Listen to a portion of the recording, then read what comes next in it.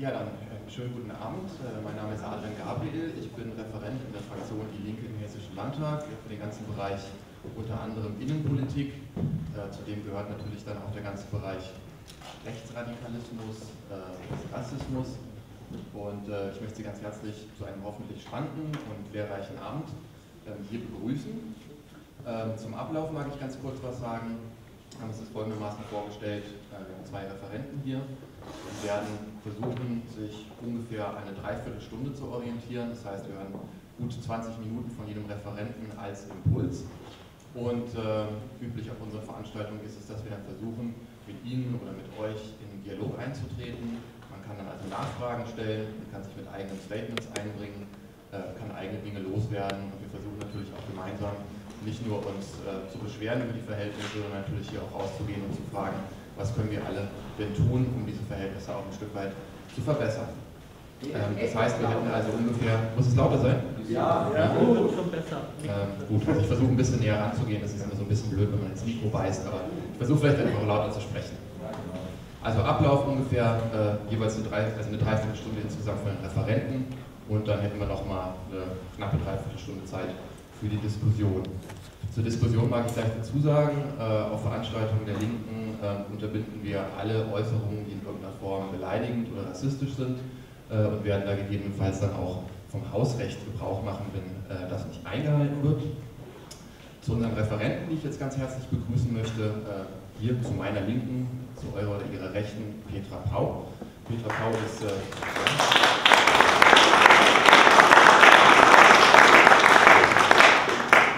ausgebildete Lehrerin, aber schon seit äh, langer, langer Zeit äh, professionell im politischen Geschäft unterwegs. Ich glaube auch sehr erfolgreich, hat mehrmals das Direktmandat auch gewonnen, ist also äh, über die Erststimmen auch mehrmals in den Bundestag eingezogen, ähm, hat zu einem Schwerpunkt ihrer Arbeit auf jeden Fall immer auch gehabt, äh, den Kampf gegen Rassismus und gegen rechte Strukturen, also in der Gesellschaft, aber auch was die verfestigten Strukturen angeht.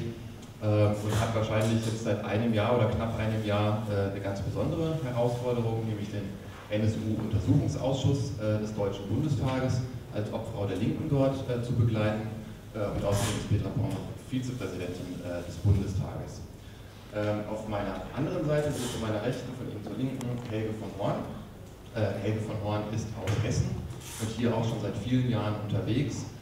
Wissenschaftlich auf der einen Seite, aber auch mit vielen Publikationen, mit Beratungsleistungen und Helge von Horn, vielleicht kann man das so sagen, wird gerufen und kommt dann, wenn es vor Ort in Hessen Probleme mit Rassismus, mit Rechtsextremismus äh, an Schulen, in Orten und so weiter gibt und versucht dort zu beraten und hat natürlich äh, aufgrund dieser langjährigen Tätigkeit einen ziemlich genauen Einblick in das, was auch hier in Hessen äh, zum Teil schiefläuft.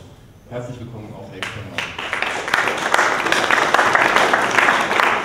Ja, liebe Freundinnen und Freunde, liebe Genossinnen und Genossen, ich möchte euch alle ganz herzlich auch im Namen der Landtagsfraktion der Linken im Hessischen Landtag. Ich möchte euch alle ganz, ganz herzlich begrüßen.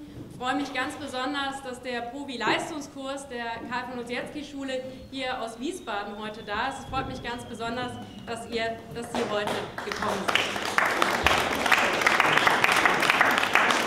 Liebe Genossinnen und Genossen, äh, liebe Freundinnen und Freunde, ein Jahr ist es jetzt her, dass die der Skandal um die NSU ans Licht kam, dass diese beispielslose Mordserie an die Öffentlichkeit kam. Zehn Morde, die begangen wurden. Und das Traurige, was man dazu sagen muss, ist, dass die NSU-Morde auch nur die Spitze eines Eisbergs sind. Seit 1990 sind mindestens 182 Menschen durch rechte Gewalt ums Leben gekommen. Und gerade seit der NSU-Mordserie haben wir auch vor allem eine Diskussion um die Rolle der Sicherheitsbehörden, allen voran des sogenannten Verfassungsschutzes, welche Rolle er dabei gespielt hat. Und es wird immer deutlicher, dass der Verfassungsschutz beim Kampf gegen Rechts nicht Teil der Lösung ist, sondern vielmehr Teil des Problems. Nazis werden, das zeigt sich immer deutlicher, nicht durch Geheimdienste bekämpft, sondern sie werden bekämpft durch das Engagement vieler mutiger Menschen, die sich Nazis in den Weg stellen, wenn sie aufmarschieren, die den Mund aufmachen, wenn Menschen rassistisch beleidigt werden. Und ich finde, gerade heute habe ich gehört, eine Äußerung aus dem Thüringer Untersuchungsausschuss zur NSU-Affäre, wo ein, ein sogenannter Verfassungsschützer gesagt hat, Naja, also wenn einer unserer V-Männer bei der NPD, wenn einer unserer V-Männer straffällig geworden ist, dann haben wir ihm eben das Geld ein bisschen gekürzt. Ich finde, das ist schon bezeichnend dafür, wie mitschuldig sich die Behörden gemacht haben. Wir haben mittlerweile in einem Thüringer Landtag, wir haben im Bundestag Untersuchungsausschüsse, die eingesetzt wurden. Es gab einige Rücktritte, auch an wichtigster Stelle, aber die politischen Konsequenzen aus, dieser, aus den NSU-Morden sind überhaupt noch nicht gezogen werden.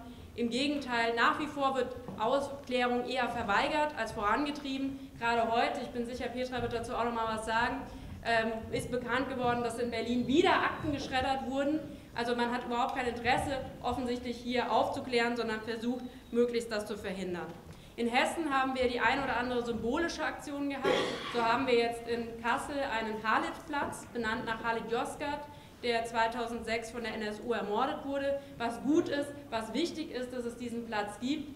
Aber jetzt gab es eine Diskussion darum, ob man dann die dazugehörige Haltestelle eben auch umbenennt in Halitplatz. Und da hat sich der CDU-Fraktionsvorsitzende in Kassel mit den Worten geäußert, nun sei es aber auch mal gut.